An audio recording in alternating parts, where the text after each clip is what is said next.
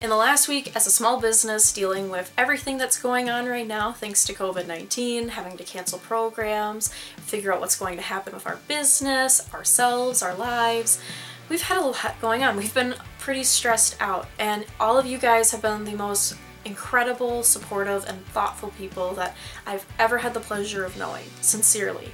You have reached out to us to see how things are going, asked about our classes to see what other classes we might be offering and how we might go forward, and asked however you could support us, different things that you could do. And it's been incredibly humbling and amazing.